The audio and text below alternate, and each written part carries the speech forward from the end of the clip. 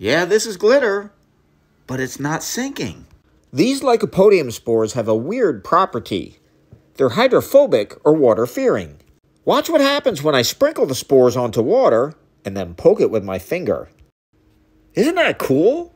And look, my finger stays completely dry. The hydrophobic powder forms a barrier that actually keeps my finger from touching the water. Hey, let's see if some other powdered substances work. First, we're going to try some glitter.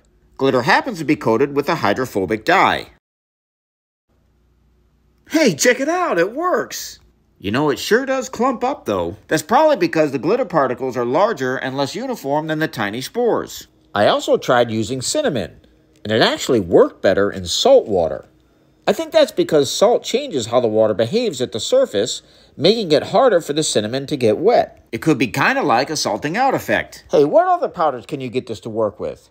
Try it out, and be sure to tag me with your results. Hey, shout out to Jacob, a longtime friend and supporter who suggested the lycopodium experiment, bought the powder, and even did the demos with me.